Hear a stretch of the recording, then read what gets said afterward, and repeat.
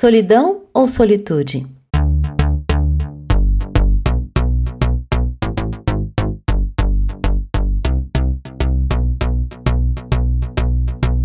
Ei você, ouvinte do Pate Papo, como é que você está?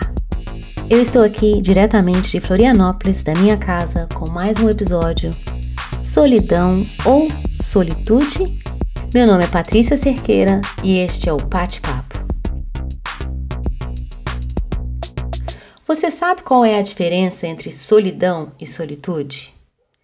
Eu andei pesquisando sobre essas duas palavras. Os dois pertencem ao estar só mas eles são completamente diferentes. Começando pelo fato que a solitude é voluntária e a solidão não. A solidão é acompanhada por uma tristeza. Pode causar depressão e ela é uma das principais causas de suicídio. A solitude é uma vontade de estar só. Ela é produtiva, criativa. Ela pode nos elevar espiritualmente, ela consegue tirar de nós mesmos o melhor de nós mesmos. Ela, na real, pode ser uma festa, tendo você como único convidado. A solitude, essa forma voluntária de estar só, ela pode ser uma ponte para uma evolução pessoal, espiritual, profissional, ou até mesmo a iluminação, como no caso de Buda, que largou a família e as riquezas do palácio para se isolar, para estar só.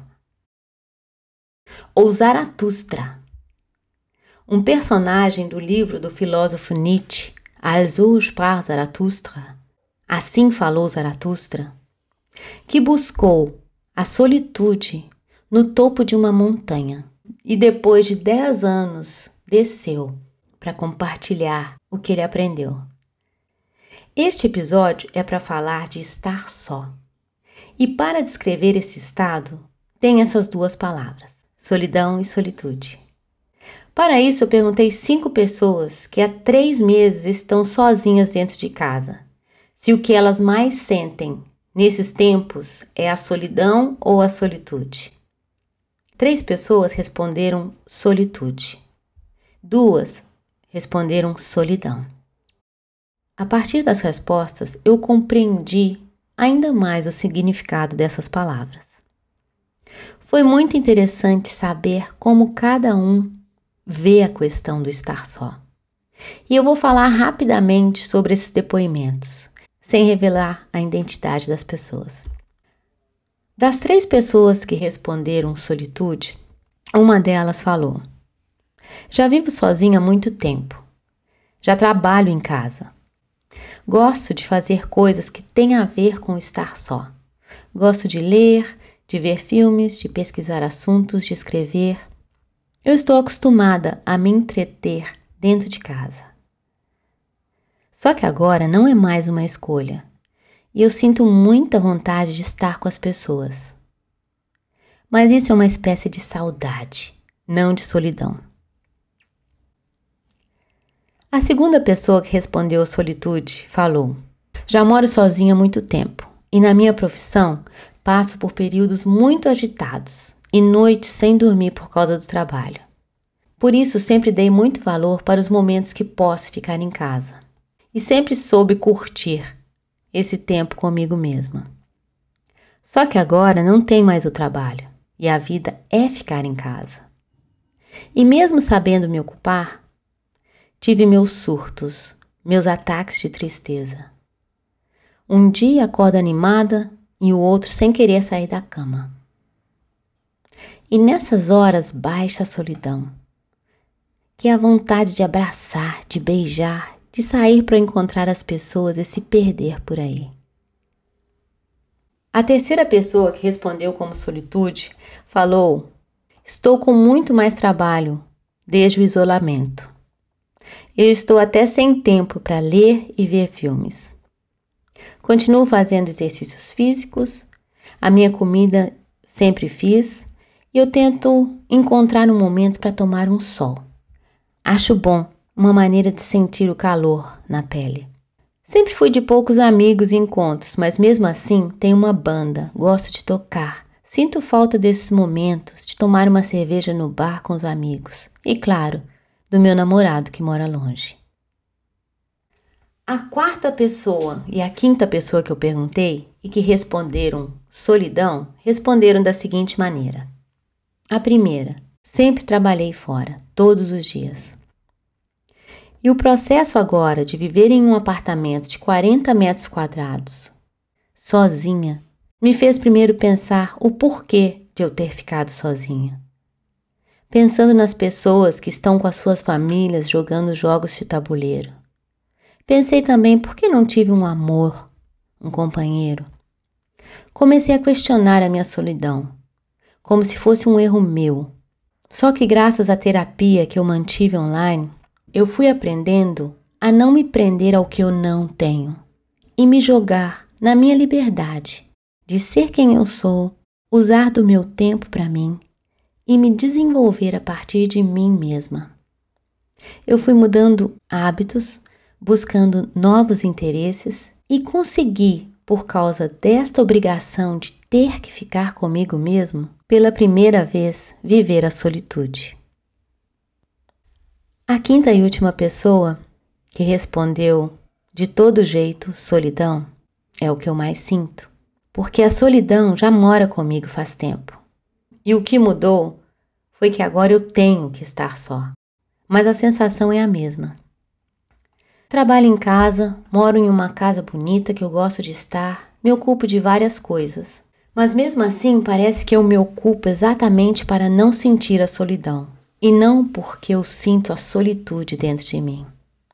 Faz tempo que eu estou só, me sinto só e sofro de solidão. Depois desses cinco depoimentos, eu me aprofundei um pouco mais sobre o assunto. E eu quero acrescentar um ponto de vista dentro do estado de solidão e da solitude. A solidão pode acontecer estando rodeado de pessoas, amigos, parentes, Nesse momento, ela não é a solidão. Fisicamente, não é possível estar só e rodeado por pessoas. Nesse momento, o que acontece é uma desconexão. Isso acontece quando a gente não interage, quando a gente não interessa pelo outro. Quando a gente está tão preso aos nossos próprios sentimentos que a gente não consegue nem ver o que, que está à nossa frente. Essa solidão acaba no momento que você interage, que você se conecta com o que está ao seu redor. A solitude, ela também é um luxo. Não é todo mundo que consegue estar só.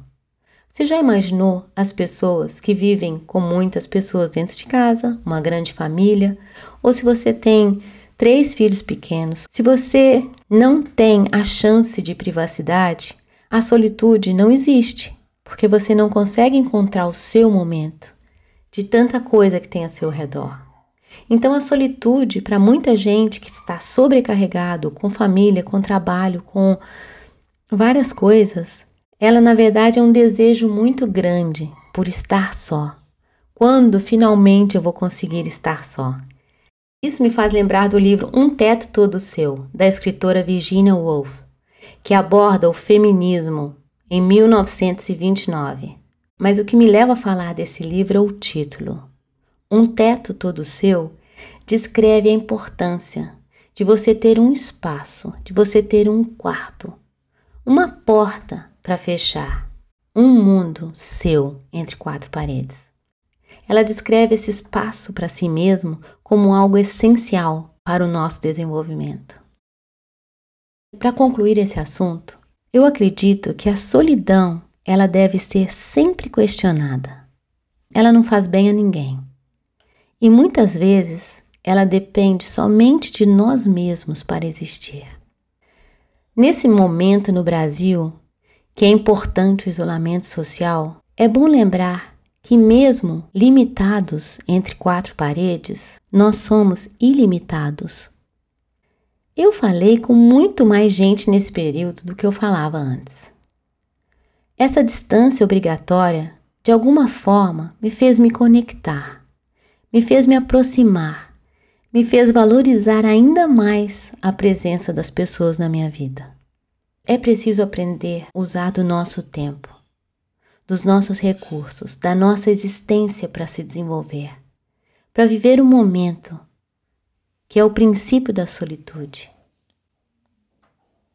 E nos momentos que a solidão for como saudade, a saudade é um bom sinal. Mas é importante lembrar que quanto mais saudade você sente, mais feliz você foi.